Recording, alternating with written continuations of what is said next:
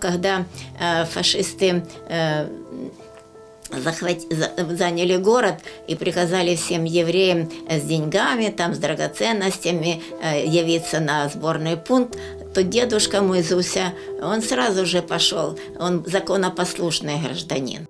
89-річна запоріжанка Любов Височина згадує події Другої світової війни, під час яких розстріляли її дідуся та бабусю Зіновія і Хаву Клоцман. Їм тоді було приблизно по 50-60 років, каже жінка. Любов Абрамівна пояснює, дідусь вважав, що його не вб'ють, а лише заберуть цінні речі. Але чоловіка розстріляли. Бабусю майже 4 роки переховувала подруга, але врешті її також вбили в Бабиному Яру. Лично э, в моей семье случилась э, праведница. Особисто в моїй родині була праведниця, українська жінка. Я була ще дитиною і не запам'ятала її прізвища. Це була бабусина подруга. Вона її відвезла в глухе далеке село, де фашистів не було, був лише поліцай. Вона відвезла її до своєї рідної сестри і представила мою бабусю Хаву Клоцман як свою двоюрідну сестру, і вони там оселилися. І бабуся майже чотири роки прожила в тому селі У бабусі з дідусем були золоті монети, каміння дорогоцінне. Половину з цього вона взяла з собою, а іншу частину лишила на горищі в колишньому будинку. І коли вона вирішила повернутися і забрати це, бо треба було за щось жити, її відстежив поліцай. Її схопили, відібрали все і розстріляли в Бабиному Яру. Любов Абрамівна каже, добре пам'ятає дідуся і його життєві настанови. Дедушка у меня был самый известный в городе портной.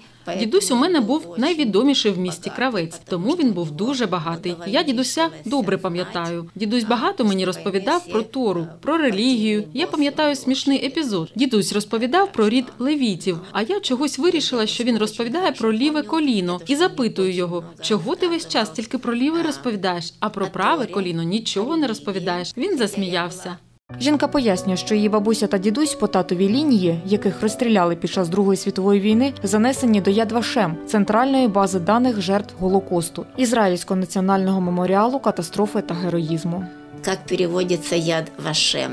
Як перекладається яд вашем? Яд це пам'ять, а шем це ім'я, а ва сполучник і. Хтось перекладає, що це Божа пам'ять, тому що шем це ім'я Господа Бога на івриті. А ось батьків Любові Абрамівни спіткала зовсім інша доля. Это э, папа, мама и я. Это я, когда закончила 10 классов, э, решили сфотографироваться. Я же уезжала во Львов.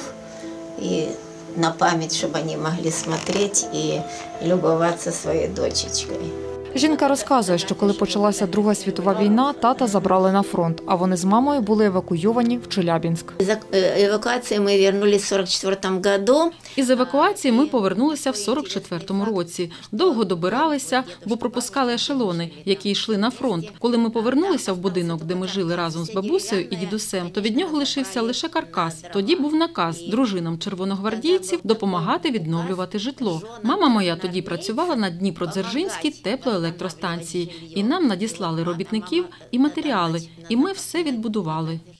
Любов Абрамівна розказує, тато після Другої світової був ще в Японії на війні і тільки після того повернувся додому.